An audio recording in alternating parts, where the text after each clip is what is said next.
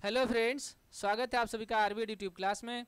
तो फ्रेंड्स आज मैं एक क्वेश्चन लेकर के आया हूँ। ये क्वेश्चन क्लास नाइन्थ की मैथ की बुक से एक्सरसाइज 2.4 से क्वेश्चन नंबर फाइव का फोर्थ क्वेश्चन लेकर के आया हूँ।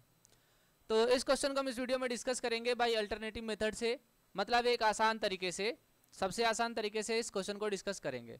तो चलिए देखते हैं। जैसे कि क्वेश्चन नंबर फाइव है factorise two I cube plus Y square minus two I minus one. इसको हमें फैक्टोराइज करना है।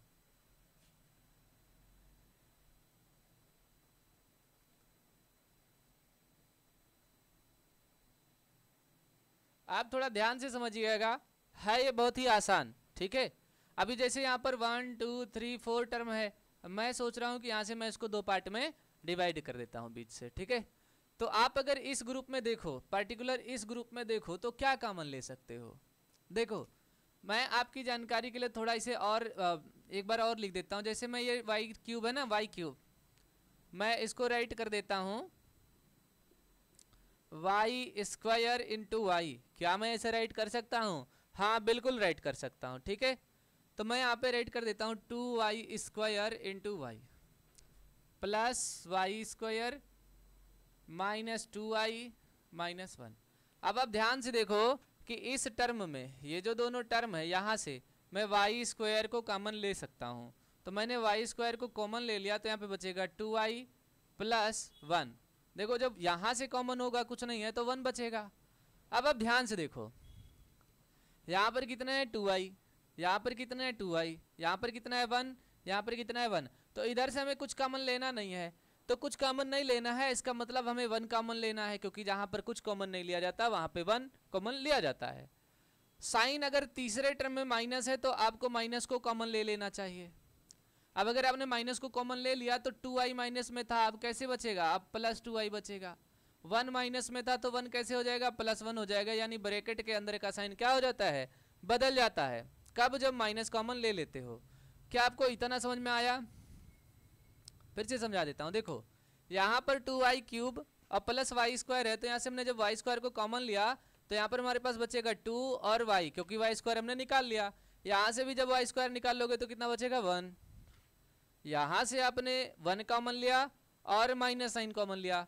तो जब आपने माइनस वन कॉमन ले लिया तो ये माइनस यहाँ प्लस हो जाएगा और ये माइनस यहाँ पे प्लस हो जाएगा।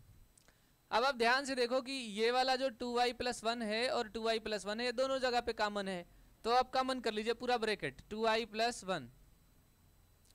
ये पूरा आपने कॉमन कर लिया तो देखो, यहाँ से जब ये निकल जाएगा तो आपके पास बचेगा वाई स्क्वायर और यहाँ से जब ये निकल जाएगा तो आपके पास बचेगा माइनस वन ठीक है? अब क्या है? देखो, ये जो आपको वाई स्क्वायर माइनस वन दिख रहा है, ठीक है? इसको आप ऐसे लिख सकते हो। वाई स्क्वायर माइनस वन का स्क्वायर क्यों? वन के पावर आप कितनी भी बढ़ा लो, कितनी भी कम कर लो, कोई फ़र्क नहीं पड़ने वाला है। अब ये एक आइडेंटिटी होती है A square minus B square ठीक है? कौन सी? Identity number third A square minus B square तो इसका फार्मूला होता है A plus one sorry A plus B और ए माइनस बी तो यहाँ से अगर आप देखोगे तो ए ये है वाई आपका और बी है आपका वन है ना? तो यानी कि हो जाएगा वाई प्लस वन और y माइनस वन यहाँ पर ध्यान से देखिएगा। ये जो वाई स्क्वायर माइनस वन लिखा है, इसको हमने लिख दिया Y square minus one square one के पावर हम कितनी भी घटा सकते हैं और वन के पावर हम कितनी भी बढ़ा सकते हैं। तो अब ये Y square minus one square A square minus B square के फार्मूले में रख देंगे।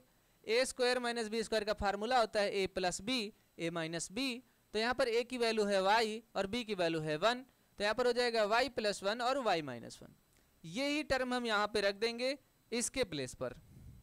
तो कितना आ जाएगा हमारे पास? आ जाएगा वाई प्लस वन और वाई माइनस वन तो यही हमारे फैक्टर होंगे इस पॉलिनोमियल के.